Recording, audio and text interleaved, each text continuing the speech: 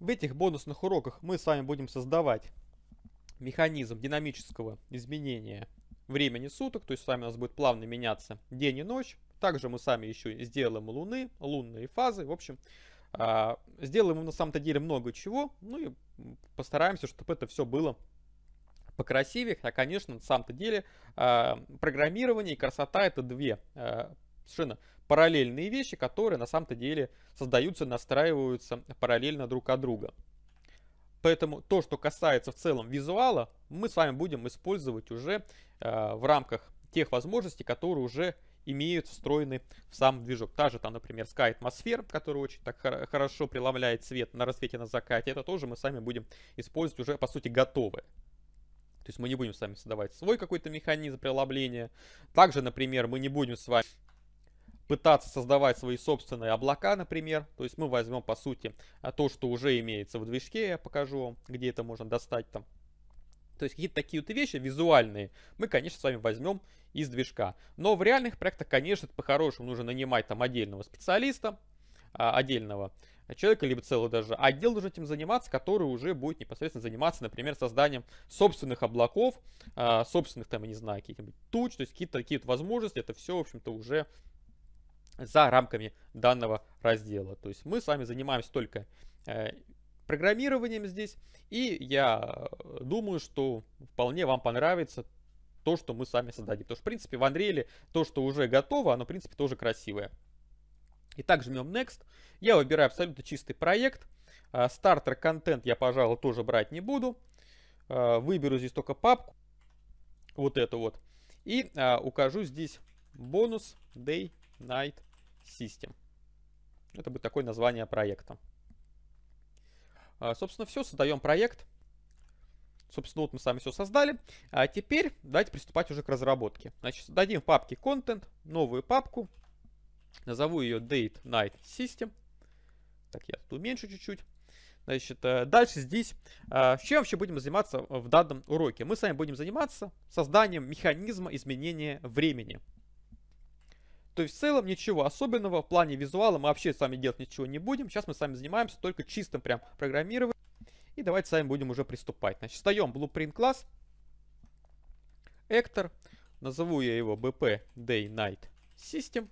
Это будет основной наш с вами класс. Кстати говоря, тут, наверное, для карты э, стоит наверное, отдельную папочку создать. Вот здесь вот. Maps. Ну и сохранить эту карту непосредственно в Maps. Назовем ее Main. Но это так. А теперь, значит, здесь. Пока что все мы, наверное, удалим. И подумаем, как вообще можно отслеживать время. Значит, очевидно, что напрашивается какая-то переменная, которая это время в себе содержит. А, я предполагаю, что удобнее всего будет работать с переменной типа float. А вопрос лишь в том, а что мы будем в этом флоуте содержать. То ли часы, то ли секунды, то ли минуты, да, то ли дни, там, я не знаю, еще что-то. Так вот, я думаю, что самый, наверное, оптимальный вариант в переменной time хранить именно секунды. То есть, по сути, а, с определенной периодичностью мы с вами будем данную переменную time увеличивать каждый раз на какое-то значение. Также нам, очевидно, потребуется еще и скорость то есть скорость изменения времени. Причем скорость я сделаю достаточно так удобно, то есть по сути, если мы, например, поставим значение единичка, это означает, что одной секунде реального времени будет соответствовать одной, одной секунде игрового времени. Если я поставлю скорость 5, значит у меня будет течь время в 5 раз быстрее, означает, что за одну секунду реального времени пройдет 5 секунд игровых. Это вот переменная speed. Значит, очевидно, time я не хочу, чтобы был, в принципе, доступен где-либо, поэтому я делаю private, ставлю категорию какой-нибудь system, пусть называется. Вот. А speed это чисто такая уже настроечка, поэтому я, пожалуй, назову категорию config. Она будет, разумеется, открыта для того, чтобы level дизайнер мог без проблем ее настраивать. А, давайте с вами мы этот объект пока что вытащим на сцену. Также, я думаю, стоит, чтобы его было легко найти, добавить такой компонент, как billboard. Ну, это просто такой вот спрайтик, такая картиночка, ее можно поменять на другую любую картинку, какую вы хотите. Но просто так вот как-то удобнее будет находить. Вот, если говоря, можно ее увеличить, но мы это делать не будем. Так, значит, теперь э, следующая задача. В принципе, у нас с вами есть уже переменная для времени, где мы будем хранить э, скорость. И наша с вами цель теперь вот эту вот э, переменную time увеличивать каждый какой-то э, промежуток времени. Значит, давайте. Очевидно, что мы с вами будем увеличивать через таймер. То есть можно, конечно, через тик, но тик это, сами понимаете, неправильный подход. И на самом начале мы, в принципе, сразу с вами ставим set timer by event. Я думаю, что мы с вами будем менять время в функции change time. И здесь давайте мы create event. И этот change time мы здесь с вами э, выберем. Э, разумеется, зациклено у нас все это дело будет само собой. Но э, возникает вопрос, а как часто ее запускать? Значит, смотрите, главная вообще задача, чтобы у нас с вами не было никаких рывков. То есть, если, например, у нас с вами будет скорость, ну, например, там 1000, то тогда у нас с вами получится, что если мы будем запускать а, слишком редко функцию, допустим, раз в секунду, то нас фактически она будет запускаться, и у вас каждый раз время будет увеличиваться, ну, получается, если 1000, где-то, наверное, там минут, ну, около 20 минут пусть это будет, примерно 20 минут.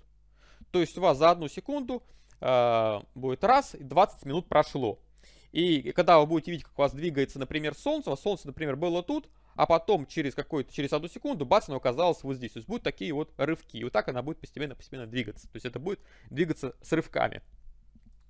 Если же вы поставите, например, какое-то такое время, да, например, одну сотую, тогда у вас рывков не будет, потому что у вас будет все время, все время обновляться.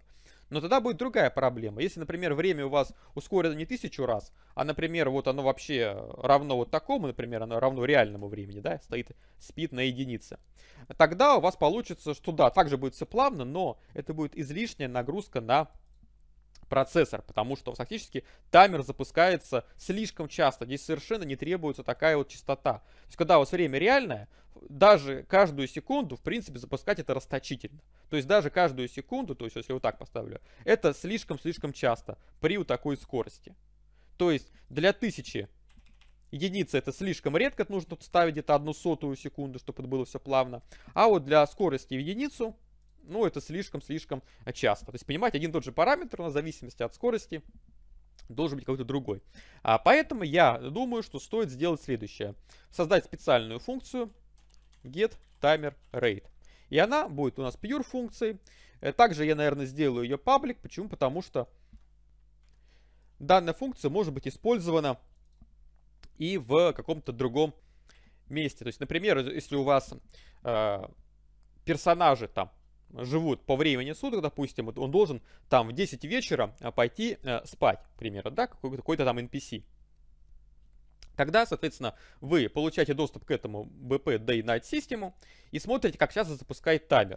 То есть, по сути, он же ведь не знает, когда будет 10 часов, поэтому он должен время от времени опрашивать вот это вот текущее время. Но как часто? Вот как раз э, благодаря get timer rate он будет знать, что нужно, например, опрашивать текущее время, например, каждую секунду, или там каждую десятую секунду, или там или раз в 10 секунд достаточно опрашивать, если время не очень быстро идет. То есть это get timer rate, он вполне а, может быть полезен, поэтому я, пожалуй, отправлю его в сервис. Ну или, наверное, даже лучше я переименую в info, информация какая-то. Вот, и, собственно, этот get timer rate у нас должен будет возвращать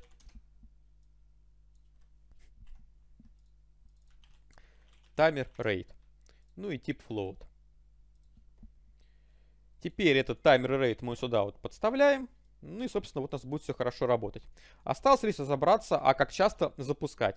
Ну, в принципе, я для себя уже уже решил, что я буду, значит, делать следующим образом. То есть я буду э, делить какую-то константу, ну, например, там, отлично, конечно, от нуля, э, какую-то константу на вот эту скорость.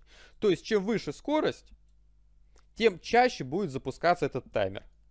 Вот эту константу, в принципе, стоит подобрать. Единица это достаточно жирно. Это очень-очень хорошо у вас все будет. То есть очень все плавно. Возможно, я, опять же, как вы хотите, но, возможно, стоит сделать, например, 10. В принципе, я тестировал и при 10. Тоже все смотрится достаточно плавненько. Вроде никаких рывков при любой скорости я не замечал. Вот, и в 10 это будет лучше. Значит, у вас таймер будет запускаться в 10 раз реже. И это, на самом-то деле, будет гораздо лучше. Ну, в принципе, я поставлю единицу, просто знайте, что э, вот этот параметр можно вполне тут поменять на более э, большой, тоже будет все хорошо.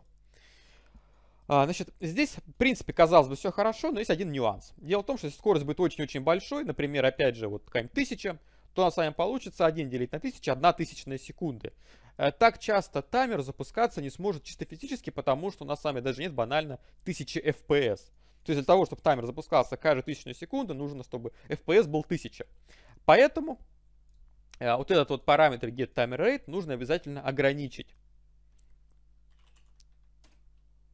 И по сути я выбираю максимальное. То есть либо вот это вот, либо максимально 1 сотая. Это максимальная частота таймера. То есть, если у нас тут получится одна тысячная, то выберется все равно вот эта вот одна сотая. Можно даже сделать чуть там, допустим, какой-нибудь там 2, 3 сотых, 5 сотых, да, чтобы э, еще меньше была нагрузка. Вот. Но в целом такая вот система вполне э, рабочая, даже вот так. То есть, в целом, да, здесь можно увеличить, Здесь также можно чуть увеличить, но это все это вот реально вот больше, вот, то есть еще чаще таймер запускать просто-напросто нет вообще никакого смысла. Все максимально плавно вот в данной вот ситуации. Если вы поставите тут 10, тут поставите, например, 5 сотых, тоже будет все достаточно плавно. Я, по крайней мере, так визуально никаких рывков не видел. Вот, но вы настройте для себя, как вы хотите. То есть вы сами разобрались с uh, get timer rate. Теперь идем в функцию change time. Это у нас функция будет private. Я ее сделаю категории System. Здесь вполне очевидно нам нужно изменить это время. А как изменить? Ну, очевидно, какому-то а, текущему времени прибавить какое-то другое значение, пока мы не знаем какое, и дальше, соответственно, записать уже снова обратно в time. То есть эта вот вещь, в принципе, она очень очевидная. А вот это вот. То есть мы меняем время, вопрос только в том, сколько прибавлять.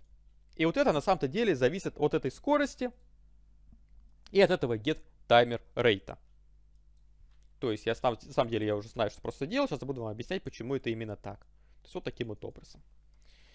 А, почему нужно именно вот так вот сделать? Потому что у нас, а, если будет, например, вот speed равняется 10, давайте прям буду это писать, 10, тогда таймер rate, ну, с помощью функции мы с вами помним, там у нас 1 делить на скорость, получается 1 десятая. Таким образом, мы э, частотой 1 десятая запускаем вот эту вот функцию change time, и дальше мы 10 умножаем на 0,1, прибавляем, по сути, тут идет у нас единичка. То есть в каждую десятую долю секунды мы прибавляем единицу. И таким образом ровно за секунду у нас прибавится 1 секунда. Ой, э, прибавится уже 10 секунд, да, то есть вот у нас, когда секунда пройдет, мы уже 10 раз прибавим по одному, и по сути у нас игровое время увеличится на 10 секунд. То есть 1 секунда реального времени прибавить 10 секунд виртуального времени. Поэтому вот это, вот это вот умножение достаточно важно, и нужно учитывать его. Так, вот таким вот образом. А, значит, э, теперь следующий момент, э, касающийся уже а, настройки времени на сцене. То есть сейчас у нас с вами пока что ничего этого нету. Переменная time у нас закрыта. А как level дизайнеру выставить здесь, в принципе, какое время будет в начале игры. То есть скорость он может здесь менять без проблем. С этим проблем у нас нету. Кстати говоря, давайте мы скорость тут ограничим чтобы он не мог поставить э, время отрицательное. То есть 0 это еще ладно, да, просто время как бы остановится. Но чтобы отрицательно он не мог поставить, то есть мы с вами вот так видим, все, уже не может дизайнер поставить отрицательное время. Это хорошо. Но теперь нужно еще указать ему и э, другие параметры. Это день, часы, минуты, секунды. Для этого создаем еще параметры. Day. Это у нас будет, разумеется, тип integer. Дальше hour. Дальше минут. И second. А, значит, нас получается должен быть строго от нуля. Hour у нас должен быть от нуля до 23. Ну, это понятно, да? А, минута должна быть у нас от нуля до 59. Тут тоже 59. Ну и секунда то же самое. От 0 до 59. А, все переменные должны быть открытыми. Обязательно.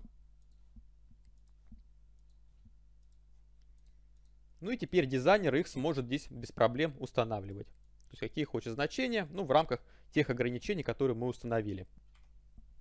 Также очевидно, что э, хотелось бы, что когда у нас так вот дизайнер делает, очевидно эти параметры должны как-то влиять на переменную time. То есть, если стоит, например, там какой-то первый день, да, например, какое-то время, 59 и так далее, а, я хочу, чтобы э, при этом у нас менялась и также переменная time, что вполне, в общем-то, справедливо и очевидно. Поэтому идем, переходим в construction script и делаем set time. То есть что-то у нас поменял какой-то параметр, сразу этот construction script у нас вызывается, и дальше мы должны его сформировать, этот time. Помним, что time у нас количество секунд от нуля, да, которое прошло. Поэтому умножаем здесь на время на э, значение 86400. Почему именно это число? Потому что именно вот это число это количество секунд, э, которое э, содержится в одних сутках. То есть в одних сутках 86400 секунд. Э, то же самое у нас с часами. Только тут, конечно, уже другое значение 3600. То есть у нас в одном часе, часе 3600 секунд. В минуте, соответственно, мы умножаем на 60. Это мы сами получаем тоже переводе минуты в секунды. Ну, и секунды это просто э, секунды, так сказать, да. То есть дальше начинаем прибавлять. Добавим еще пины. Вот, и последние секунды мы сами тоже прибавляем. Вот, и э, сумму записываем уже вот сюда. Вот таким образом. А, в принципе, можно попытаться что-то протестировать. Давайте мы на EventTick будем просто выводить переменную time. Поставим нолик. Вот, ну, собственно, смотрим давайте. Значит, у нас такое время сейчас. А, вот у нас это время сейчас а, такое. Видим, она начинает расти. Да, то, собственно, все там посчиталось. Все прекрасно работает. Вот, если, например, я поставлю а, скорость, например, 100, то есть 100 раз быстрее реального времени, она с вами будет тогда вот таким вот образом, видите, работать. То есть у нас, это у нас так, так текут секунды в внутриигровом времени.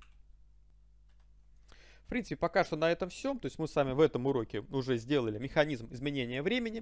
То есть у нас с вами уже время меняется. Причем частота изменения зависит от скорости изменения времени. То есть этот таймер у нас, мы функцию тоже с вами создали. Также мы с вами здесь создали различные э, настроечные переменные, которые нас сможет level дизайнер настраивать на сцене. Вот все это здесь у нас используется. Да, то есть можно все еще аккуратненько выровнять. Вот так вот. Ну, примерно. Вот. И, собственно, у нас все готово для того, чтобы теперь еще создавать функции для получения информации о времени. Пока что с вами, да, есть какие-то переменные day, hour, minute, second, но это все э, такое себе мы сами создадим более удобные функции, которые нам также будут очень полезны в каких-нибудь э, других проектах, которые используют э, данный Эктор. На этом пока все. Спасибо за внимание.